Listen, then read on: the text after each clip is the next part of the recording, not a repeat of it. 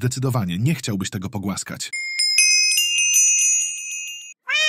Nawet jeśli to zwierzątko wydaje się miłe, to nie chciałbyś tego dotknąć. To zwierzę to dosłownie przykład z bajki o pewnym wilku i czerwonym kapturku. Pewnie się zastanawiasz dlaczego. Już tłumaczę. To zwierzątko to kukang, ma brązowe oczy i okrąglutki kształt ciała. Jednak nie daj się zwieść. Jest bardzo niebezpieczne, ponieważ po wewnętrznej stronie łokci posiada gruczoły, wytwarzające toksynę, którą Lori pokrywa swoją skórę. Ich trucizna może wywołać u człowieka wstrząs anafilaktyczny, a nawet śmierć.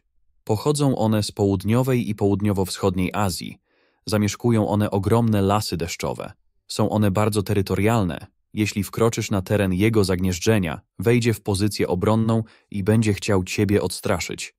Lepiej, żeby to wystarczyło, jeśli chcesz zachować swoje zdrowie lub życie w nienaruszonym stanie.